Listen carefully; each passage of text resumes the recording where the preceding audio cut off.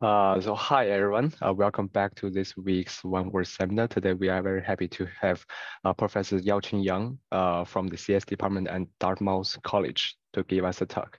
So he mainly works on machine learning generalization and distributed machine learning systems. And previously he was a postdoc at UC Berkeley.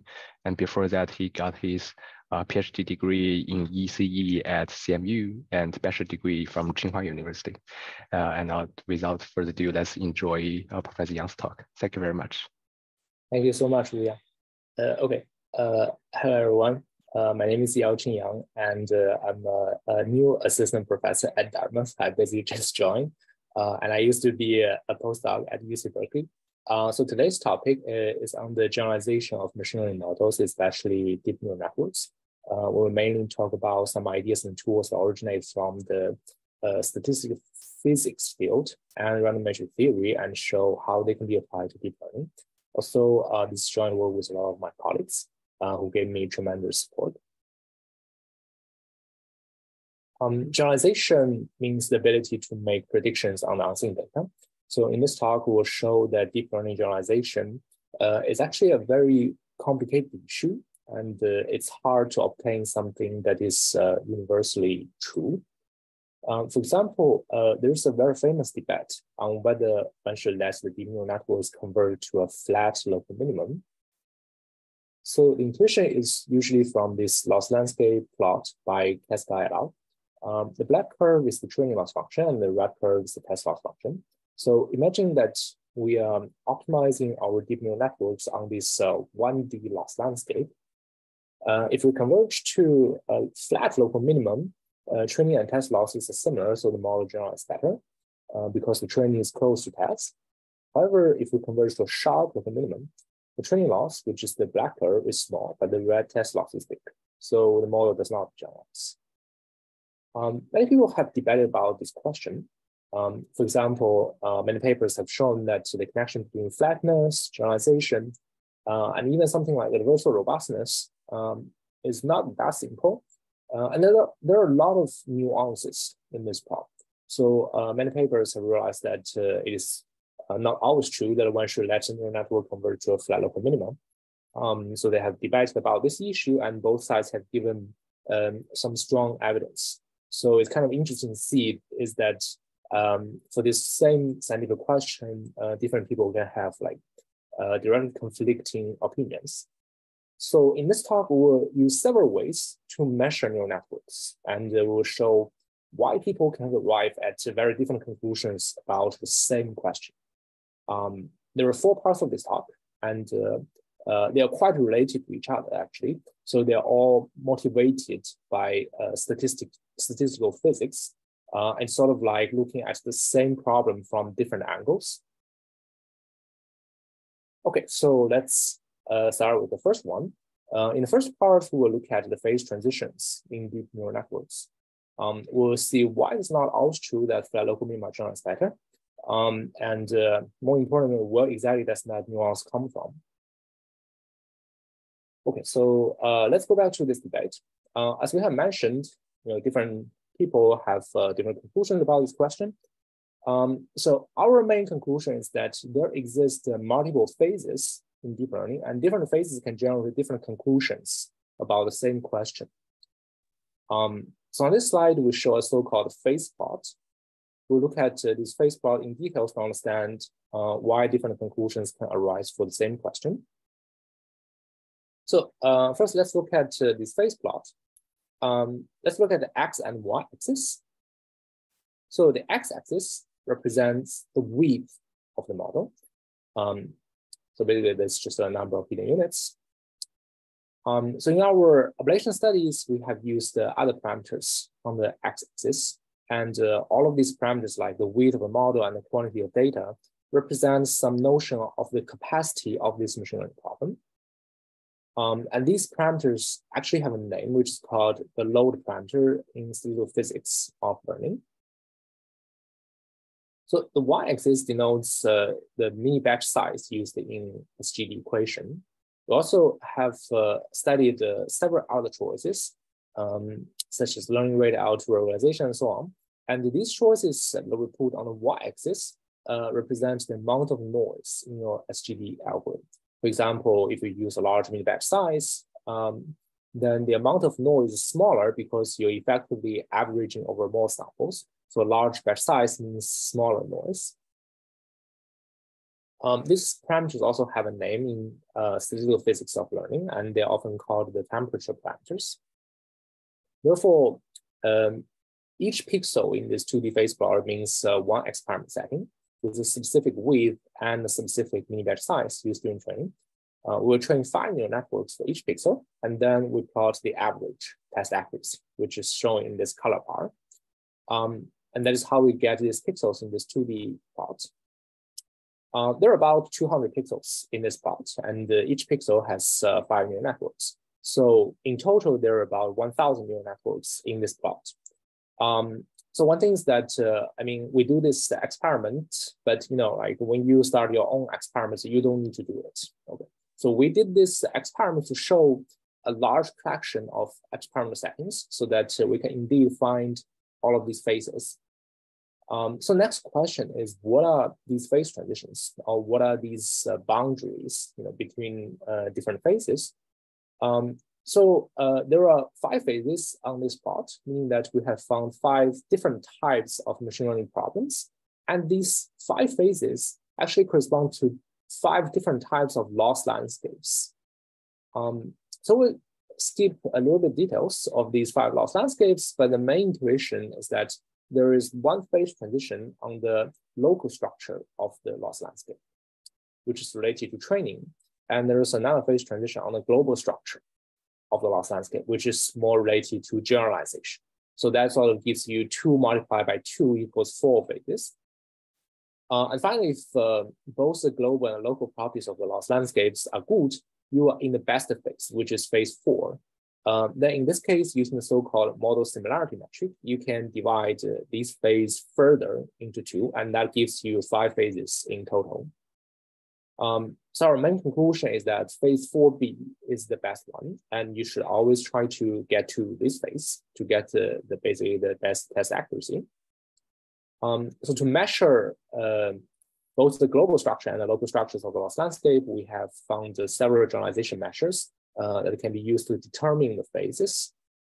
For example, using the Hessian's leading eigenvalue. So by the way, the, uh, the Hessian is the Hessian with respect to the weights. So using the Hessian's leading eigenvalue, uh, we can determine one of these phase transitions. Um, and you can see that there is an abrupt change in the color uh, in this uh, Hessian plot. And that's what we mean by a phase transition. Um, and another important generalization measure is called uh, mode connectivity. Um, and it measures if there exists um, a hidden path in high dimensions that can connect to two local minima. Uh, so this metric studies the connectivity of loss landscapes and that sort of measures some uh, global structure of the loss landscape. Um, so uh, that's basically what we mean by uh, using both the local structure and the global structures. Um, the local structure is measured by Hessian and the global structure is measured by uh, mode connectivity and also model similarity. Okay, so um, after defining these phases, let's uh, uh, see how we can use them to improve deep learning, um, such as uh, the hyperparameter tuning problem that we'll talk about. Um, so note that this phase plot is obtained when you can study all of these different settings, right? So that's what I know because I have already trained thousand neural networks to get this phase plot. However, when you have your own machine learning project, uh, you don't know um, you don't know what the phase plot looks like. So when you start your own machine learning problem, uh, let's say you have your own project on CV or NLP, you don't have this uh, phase plot. You only have your own model and your own training hyperparameter. Like in this case, the batch size, right? So uh, what you need to do first in this case is to figure out which phase your own problem belongs to without having the whole phase part. Um, and then based on the phase, you can choose the best way to improve training. And one thing is that we will show later in one slide that uh, we have studied a lot of different settings and the phase plots uh, are quite universal. So you will see this kind of phases uh, uh very often uh, in different types of problems. Um, so let's say that you, now have your own problem, then this phase plot is like a map and all the generalization measures like um, Hessian and mode connectivity and the model similarity matrix, uh, they are sort of like landmarks that can tell you which phase your problem belongs to. Then, depending on where you are, you want to find the best way to get to phase 4B, which is the best uh, phase to get the highest test accuracy. So that's why uh, that, that's how we get this uh, uh, lookup table to determine the phase. So here's the pipeline to use these phases. Um, first, you calculate the three loss landscape measures. Um, note that calculating these uh, loss landscape measures don't need a, a giant phase plot. Um, then based on the values of these loss landscape measures, you can determine the phase of your own problem. Uh, finally, you give the treatment or the best solutions to your own machine learning problem. So um, you can get to phase 4B, which is the best phase. Um, therefore, using the framework, you can answer a lot of questions like, should I use a larger model, a smaller model? Should I get more uh, high quality data? Or should I maybe try more hyperparameter tuning using the same data? Um, so you can sort of view this as a divide and conquer way to diagnose machine learning failures. So uh, depending on which phase your problem belongs to, you can find the main issue of your machine learning problem. Uh, in some phases, you probably want to use a smaller rate. In some phases, maybe you want to make a neural network larger. Um, and they're all based on these phase plots. So, um, so, so that basically gives you a divide and a conquer way to determine the best hyperparameters to uh, train your neural network. Uh, so here is an example of using our phase plots, uh, which is published in this year's ICML. Uh, we show that using the phase plots, you can determine a better way of tuning hyperparameters, uh, and that will give you much faster computation compared to grid search. So we'll actually revisit this slide uh, uh, in this talk, and we will give more details of how to use these phase plots to determine the best hyperparameters. but the high level idea here is that these phase plots provide you a very efficient way to debug your machine learning model and find the best hyperparameters.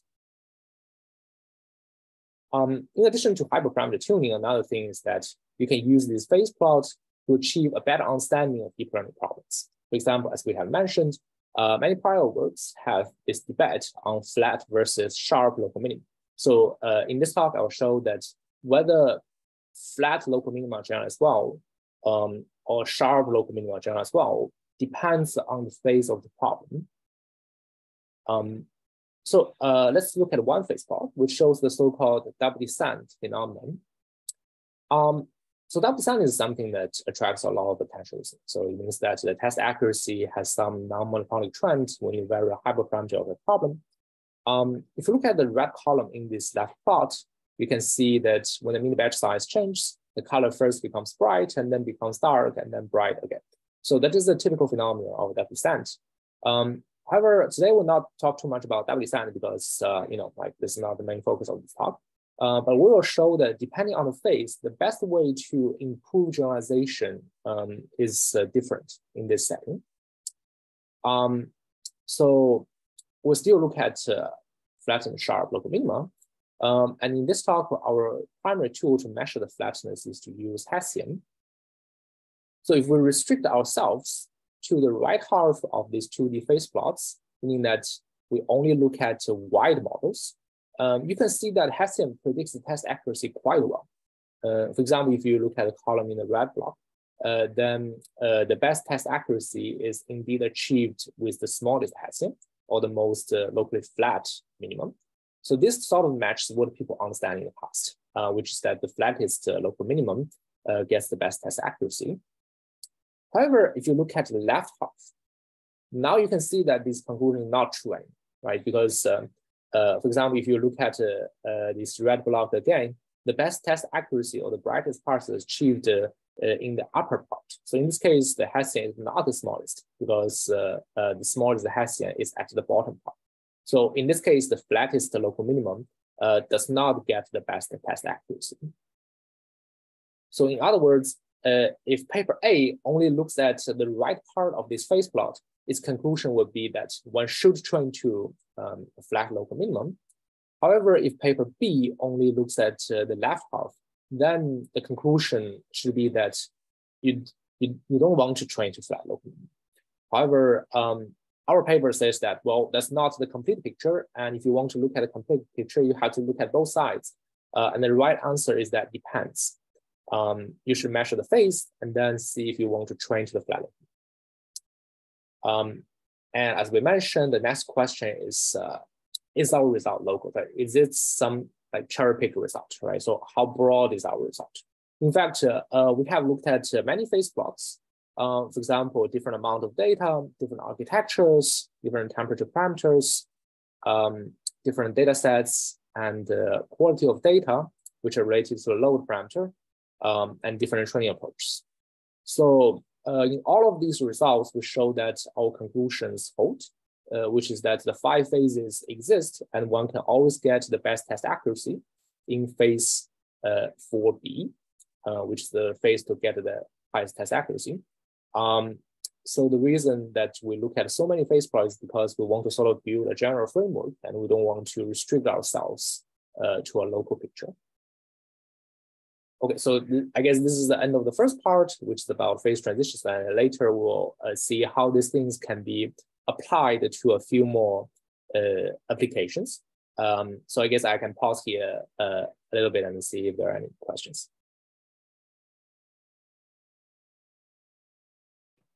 Hi, Professor Yang. Uh, just a quick question. That's uh, what motivates you to plot the diagram against the width and the batch size instead of other dimensions? Yes, yes. Um, so uh, one thing is that uh, um, you know we looked at uh, the so-called load and the temperature parameters, and these kind of things are actually um, strongly motivated by uh, statistical physics. Uh, and uh, we'll have a few slides to sort of go over that. and then after looking at it, you will see that the way that we choose these hyperparameters are sort of very similar to the way that people choose these parameters.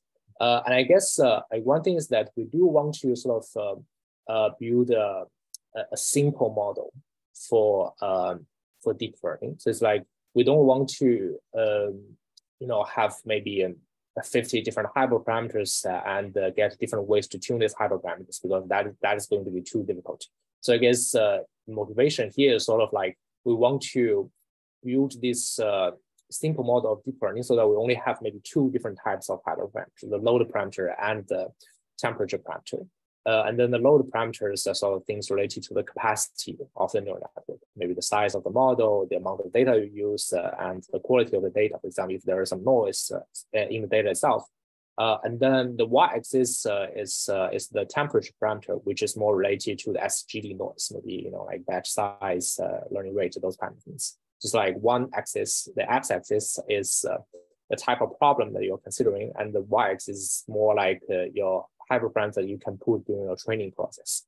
Um, and uh, I guess like one very interesting phenomenon we see is that uh, even if you change all of these different hyperparameters, for example, you can change the x-axis to load uh, to, to other load parameters like the amount of data. You can change the y-axis to maybe learning rates or auto-regularization. Then you almost always get like sort of similar type of response that sort of uh, support our motivation to study this very simple model of deployment. I see. I see. Thank you very much. Can I ask one uh, short question? How stable are these observations, say, over the depth of the neural network? Yeah, yeah, that's a very good question. Uh, so uh, one thing is that uh, um, in our experiments, we haven't really looked at depth. So that's one thing I think uh, um, this paper lacks. But then uh, in 2023 paper, we indeed looked at depth. So in that paper, we have an experiment related to the depth of the model and our observations are very similar um, you know, for depth, like one thing is that uh, it's uh, going to be entangled with the temperature parameters. It's like if you look at depth and you just change it, then you have to somehow change the hyperparameter as well to get the best test accuracy. So that sort of adds to some nuance of uh, uh this experimental procedure. But uh, you know, if you take care of that, then you will see the same phenomenon. Thank you so much. And then, uh, what depth do the experiments here have? Oh, so so here this is the ResNet 18. Okay, ResNet thank you.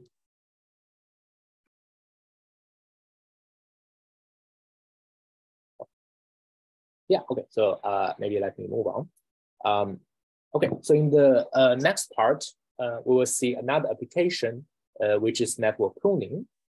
So uh, network pruning is a technique to compress a neural network by removing redundant weights. Uh, in this case, uh, we also have a hyperparameter tuning problem. For example, in some cases, you want to um, prune more, and uh, maybe in some cases, you probably want to do early stopping or use a smaller learning rate or so on. Um, so the main difficulty of the hyperparameter tuning in this case is that we have a three-stage problem, right? And uh, this is uh, probably the most commonly used pipeline for network pruning. Um, so in the first stage, you will pre-train your model to some degree, um, then you prune your model based on some criteria. For example, the most common way to prune is just to remove weights with a small magnitude. Um, and finally, you will fine tune your model. Um, now you have three stages and there are some hyperparameter in each stage. So our question is, can we somehow characterize the phase transition for these hyperparameters? Uh, one thing to mention here is that we will use the term model density to describe the size of the prune model, which is the ratio of remaining weights to the original weights. So if you think about model density, you immediately realize um, there's a connection uh, between this problem, this hyperparameter tuning problem, and uh, um, our phase plot. Uh, and the reason is that uh, phase plots have one dimension to show the so-called load parameter. And just to remind you, the load parameter is on x-axis of this phase plot, uh, which is related to the size or capacity of the neural network. So um, it's clearly something uh, highly related to the model density after pruning. Uh, and the, the y-axis is the temperature parameter, which is uh, the amount of noise used during training. So for our network uh, uh, pruning problem, on the x-axis, we use the model density after pruning as the load-like parameter. And on the y-axis, we use the training epochs during pre-training um, as a temperature-like uh, parameter. Um, then uh, we want to ask two questions. The first one is, uh, can we actually observe multiple phase load regimes for this network pruning problem? Uh, and the second is that can we quantify these regimes using the loss landscape metrics that we have used to determine the phases in the first part of the talk? Uh, maybe you want to use model, uh, model connectivity, or maybe you want to use some other type of metrics. But the problem is that can we actually locate uh, this decision boundary uh, between different phases. Uh, so it turns out that we can. Um, it turns out that for network pruning, there are three regimes which still correspond correspond to three different types of loss landscapes. Um, and these three regimes lead to a very interesting dichotomous phenomenon. So depending on which regime your model belongs to, uh, you have to use different ways to tune hyperparameters. For example, if you're on the left side of this plot, uh, you should increase your temperature parameter. Uh, but uh, if you are um, on the right side of this plot, uh, you should decrease your temperature parameter. Um, and um, so how do you determine the phases? Well, it turns out that uh, you again use mode, mode connectivity, um, as well as uh, the similarity measures that we mentioned in the first part. Um, so note that in this example, the temperature parameter is the number of training epochs during the pre-training stage. So you basically can answer the question, I do early stopping or not, right? Because now uh, the question is that we observe this uh, phenomenon, and depending on which phase you are in, you probably want to tune your hyperparameters in different ways. And our answer is again, it depends. It depends on the phase your problem belongs to. Um, now, if you look back, uh, you will see that what we have uh, on this slide uh, are almost uh, exactly the same, you know, for uh, the uh, the flat versus sharp local minimum problem, right? Should I train to a flat local minimum? Well, it depends on the phase. Um, the, if you are on the right side of this phase plot, you should, but if you're on the left side, then you should not. So that's a dichotomous phenomenon again. Um, as we have shown uh, on this slide, it's uh, exactly the same answer for uh, network pruning. Uh, so now, uh, how does this idea compare to uh, other baselines? Uh, well, as we have mentioned, we want to see if we want to do early stopping or not for pre-training, right? So let's just look at this problem. Um, in other words, we would like to uh, determine the best epoch to early stop. So that is uh, a better way to ask this question. Should I stop at epoch 10? Should I stop at epoch 20? Or maybe should I just continue to train forever? Um, so now there are two conventional wisdoms. The conventional wisdom one is that we should train the model to completion before proof. So, you know, it turns out that uh, this is uh, something that people often use. You first train your model to the smallest training loss possible, and then you prove, right? Uh, but this is bad because uh, we know that based on our three regime model, we should do early stopping sometimes. So it's not always good to train to completion. Uh, then conventional wisdom two is that we should do grid search. Uh, but clearly it is not good because uh, grid search is too costly.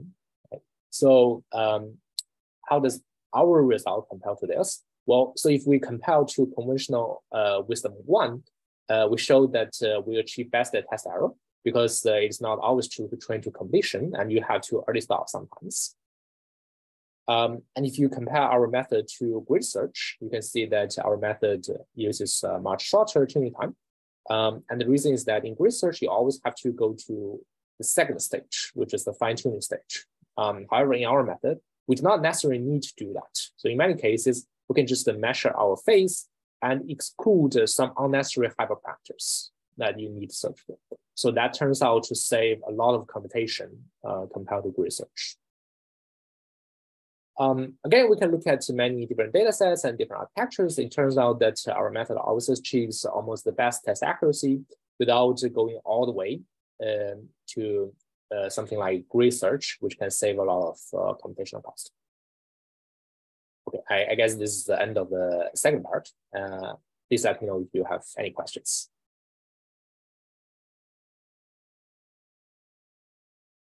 Okay. Uh, if not, uh, let's move to the third part, which is another application of these phase plots.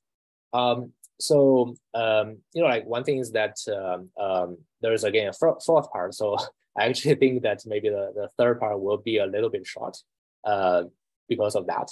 Um, uh, but I, I, still want to sort of convey my main message. Um, so in this part, we're, look, we're going to look at ensembling. So ensembling is a technique to combine the outputs of multiple learners. So the main idea is that you want the models to be diverse so that you can use majority vote uh, to reduce uh, error. Um, so by the um, Condorcet's jury theorem, you have, uh, if you have independent votes, um, you can have a more accurate decision using majority vote, as long as uh, each vote has uh, some error probability smaller than one over two. However, um, we would like to ask the question, when are ensembles really effective? Um, so what do we mean? Well, in this case, we consider a new way of measuring the performance gain of ensembling. Um, in particular, we consider something called the ensemble improvement ratio, or EIR in short. Um, so that is defined as the ratio between the ensemble improvement and the average individual loss. So uh, in this case, the numerator is the expected individual uh, test loss subtracted by the um, ensemble test loss, and the denominator is the individual test loss. So the idea is that we don't really care about the absolute value of uh, ensemble improvement, uh, and we care more about uh, the relative improvement. Um, and we think that this can sort of help measure when ensembling are really effective. For example, you know, you can uh, think about some cases like uh, you have a very small test accuracy, right? Um, and then when you do ensembling, maybe you can reduce uh, the test accuracy from maybe 2% to 0.1%. And if that is the case, the ensembling actually brings a lot of gain. But if you just look at the number, it's just a 2% gain, right? But if let's, the, let's say that you have 20% um, uh, test error, and in that case, uh, use ensembling, and that probably change the um, test error to maybe 18%. And in that case, you know, the, the improvement is still 2%, but uh, um, relatively it is not a big right? So uh, since we consider this, we want to sort of uh, consider relative improvements instead of uh, um, the absolute improvement. And then to study this problem, we also define a metric called disagreement error ratio, uh, or DER. Um, so it is the ratio between the expected disagreement between the classifiers inside the ensemble uh, and the individual test loss. Um, again, this is a metric that sort of uh, measures the relative uh, improvement. Um, now, our main conclusion is that first, uh, ensemble improvement ratio, which is ER, are tightly correlated with uh, uh, DER. So actually you can prove a theorem. So in this case, you can prove a theorem which shows that uh, these two things are basically upper and uh, uh, lower bound. of, of each other. Um, and our second conclusion is that these two quantities have a phase transition at the so-called interpolation threshold. So um, on one side, um, you have very high EIR, and on the other side, you have relatively low EIR. And the important thing is that there is a big jump between these two regimes. Um, so you can again ask, uh, are ensembles really effective? Well, the answer is again, it depends, right? It depends on the phase of your problem.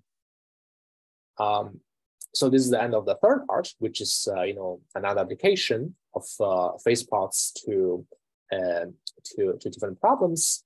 Um, and I want to uh, give a brief summary, um, sort of um, connect to a little bit of big picture of uh, this line of research.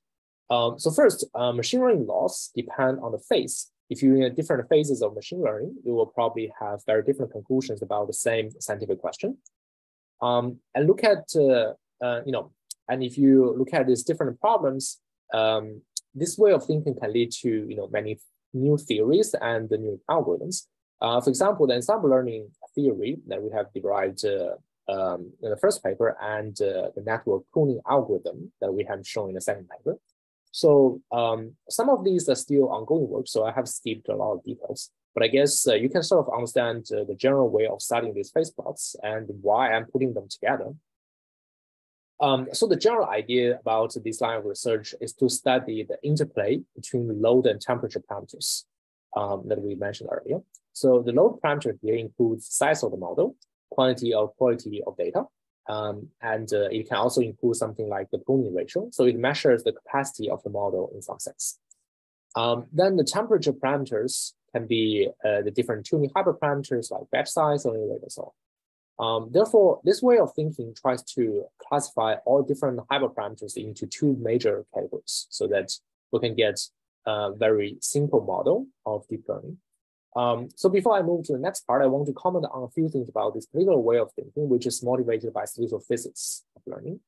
Um, so you might think that a lot of things uh, uh, in this talk are just, you know, like some strange phenomenon, right? So, uh, but actually many prior works, especially those in the 90s, have studied a lot of these phase transitions. Uh, and uh, these results are mostly uh, for small scale models. And I've listed a few of them here like the Hopfield networks, perceptron, three, uh, tree parity machines, and so on. So for these models, people have got uh, very strong theoretical results using uh, the analytical tools uh, from uh, statistical physics and information theory. Um, so no, like for this type of problem, it's very easy to do like very exact analysis. So you can actually exact these phase transitions very exactly. However, due to some historical reasons, this way of analyzing neural, neural networks are not as popular as things like VC-bounds or Rademacher complexity or so on. Um, so uh, many people have questioned the current theories of deep learning based on you know VC dimension and so on, uh, and they sort of uh, want to understand deep learning um, and uh, want to rethink deep learning and want to sort of connect to new ideas. So I think um, now that we need to rethink deep learning, uh, the ideas from statistical physics uh, could be very useful, especially if we study very large scale problems. Um, so uh, I will be very happy to discuss more about this uh, in the near future and see how we can apply these, um, um these tools from statistical physics to something beyond the generalization of the Okay, so before I go to the next part, uh, please let me know if you have any questions.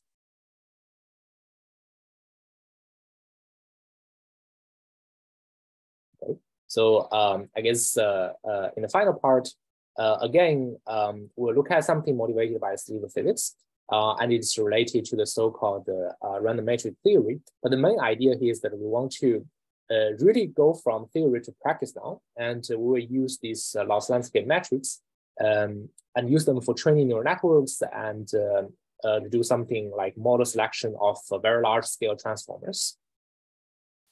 Um, I will again start by giving some motivation to this part. Uh, so here I show the picture of the Hugging Face website. Hugging Face now uh, is one of the best websites that you can download uh, pre-trained uh, natural language processing models. Uh, there are about 25,000 models on this website. Uh, now let's say that you are trying to find a model that is suitable for your task from these 25,000 models. Which one should you pick? Um, so the question is that in this case, the data might not be available uh, because these models might be trained using some web scale dataset or maybe using some private uh, data sets. Uh, but most of the generalization measures in the literature are data dependent. So this include uh, metrics based on the classification margins uh, or the so-called uh, PAC-Bayesian bounds. Uh, therefore, the key is to find something that can measure uh, the model performance and help you select uh, these models uh, without accessing the training or testing data.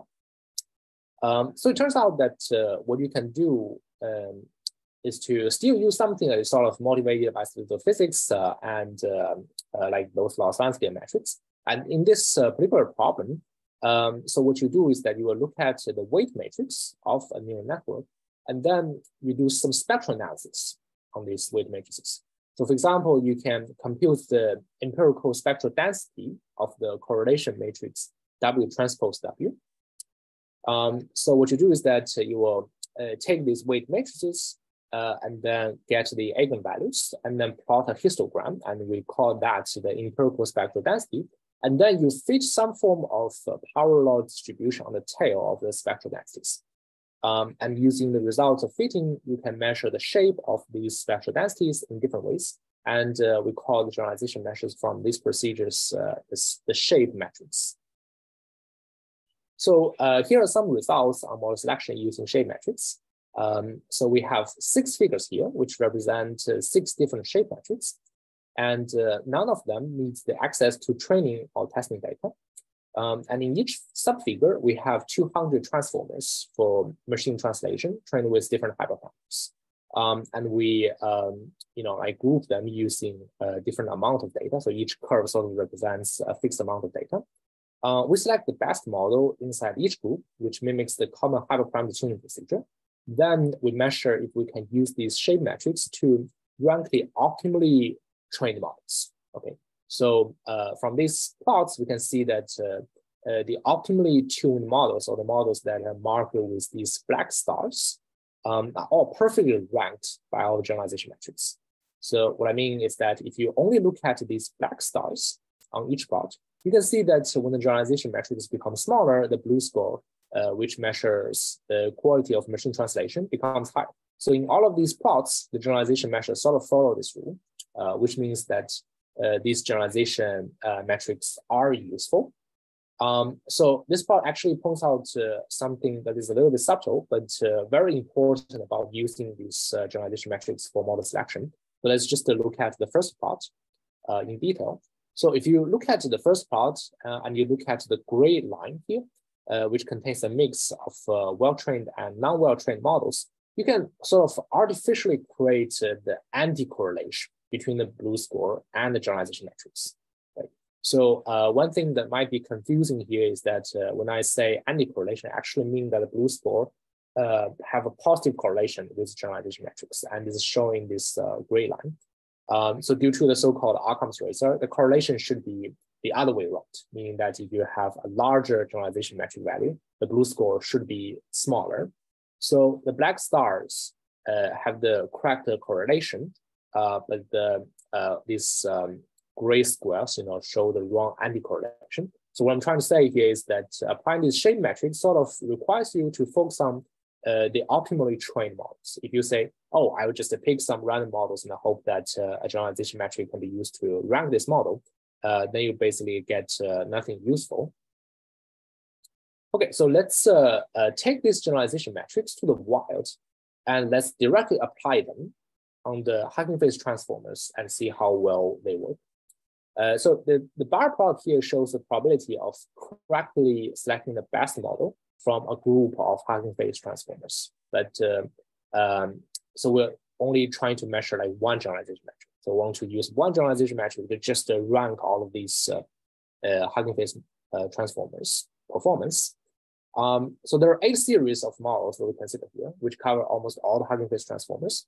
So um, from this bar plot, we can see that the shape metrics that are colored blue, um, which are the metrics motivated by these power law distributions, perform uniformly better than norm-based metrics, which are commonly studied in the literature.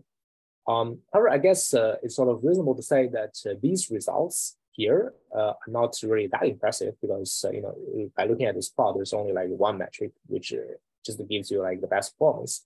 Uh, but still, we can sort of uh, show that the shape metrics generally work better than scale metrics. And as I have mentioned, there is some nuance here that you have to look at the really well-trained models and then apply these metrics. If you don't do that, then you can sort of create these anti-correlations. Okay, so uh, a reasonable question to ask at this stage is that, um, so now we compare the shape-based metrics and norm-based metrics, but uh, why does the norm-based metrics not work? Right? What is the main issue here? Uh, well, we found that the norm-based measures don't work because uh, these measures are mostly correlated with so-called uh, generalization gap of a model uh, instead of uh, something that can really measure the quality of uh, these machine learning models. So if you ask me what is the define, you know, what is the definition of model quality? Well, um, the test time performance, like BLEU score, can be good proxies of the model quality. So if you care about machine translation, um, the you know like the uh, model quality can be the BLEU score, uh, and if you care about image classification, then maybe the test error can be a good thing to look at. Um, however, uh, the generalization gap is just you know not the right thing to look at. So um, in fact, many papers on the generalization measures have focused on the generalization gap. Um, here are some papers in this area. So they all measure generalization gap instead of test, uh, test error, test accuracy itself. Um, so one thing was noting is that the generalization gap is sometimes called the generalization error, um, but that is just the same thing, which is the gap between the training and test. So if you wonder why people um, always look at the generalization gap, well, that's because the common ways of deriving the generalization bounds try to bound the generalization gap instead of the test error itself. So it's like if all of these papers are from some theoretical research in machine learning, then they will tend to look at the generalization gap and try to derive some metric that is uh, correlated strongly with the generalization gap and not necessarily with uh, test accuracy or test error. So uh, in the following part, I will show some experimental results which show that uh, the correlation um, between this metric and the generalization gap can be you know, totally independent from the correlation between uh, this uh, generalization metric and the test accuracy or test error. Okay. So they can actually show the different trends. So uh, in this part, uh, I'm showing you the comparison between 28 different generalization measures. Uh, the shape metrics are colored blue. So these are the metrics that are motivated by statistical physics. Um, the other existing generalization measures like margin, peg Bayesian, and so on uh, are colored red. Uh, and the yellow ones are the hybrids. It's like uh, some combination between the shape metrics that we design and the existing generalization measures. Um, so if you have a bar that is to the right, it means that the correlation with uh, the BLEU score is higher. It means that the generalization metric is more useful and is better in predicting the BLEU score. Um, so one thing to note is that for each metric, we'll have a bar instead of uh, one number of correlation because we have conducted uh, like 200 experiments for each bar uh, by varying different hyperparameters. So each bar uh, represents the distribution of uh, 200 uh, correlation numbers. So if you calculate the correlations between these measures and the BLEU score, um, then our metric, all the blue ones are better because the blue bars are more to the right than the red bars. However, if you measure the correlations to the generalization gap, then you know the story completely changed and the norm-based generalization measures are better. So these are the existing measures that people have studied. So the main conclusion for this section is that you know um, the shape metric is not any data, which is great, and uh, these metrics actually predict model quality or predict test accuracy, test uh, error, or BLEU score directly instead of looking at the generalization gap. So the existing measures are not really, you know, they, they work, right? So they work in the problem that they have defined, but the problem is that uh, the connection to generalization gap is probably probably not uh, like uh, the most uh, useful thing to look at, right? And in this paper, I guess what we're trying to do is to design some metrics that can be used directly for model selection, like uh, selecting like these transformers. And in that case, you really need some metrics that are correlated with the test time performance instead of uh, the generalization gap. Um, and finally, I guess uh, this slide is about uh, like some training results. So we're also trying to apply these uh, shape metrics, uh, which are sort of motivated by statistical physics and uh, random matrix theory to the training of neural networks. So on this slide, uh, different figures represent uh, different networks and different bars inside each figure represent models with uh, different number of channels, basically with different uh, uh, model width. So we'll see um, that our method outperforms uh, this baseline on a lot of different types of neural networks, VGG 16, VGG 19, ResNet 18, and ResNet 33. I'll see if I'm wrong. So basically it shows that we can actually utilize these shape metrics to improve training of uh, neural networks. And one thing is that this is a work in progress. So we're currently trying to uh, like look at a lot of more different uh, data sets, uh, different types of problems and so on, and try to see if this uh, phenomenon in training uh, is universal. Okay, to briefly summarize this part, um, so we basically focus on uh, generalization measures that do not need access to data in the past. Uh, and this is because, you know, like, although we have built uh, the framework of phase transitions, we still need uh, data to compute the phase. Uh, and we find that the shape metrics derived from the spectral analysis of the weight matrix um, can um, measure the model quality instead of the generalization gap, and it does not really need access to training or testing. Okay, uh, and this is the end of the talk. Thank you so much. Thank you, Professor Yang, for this great talk. Um, let me pause the recording and we can have some Q&As.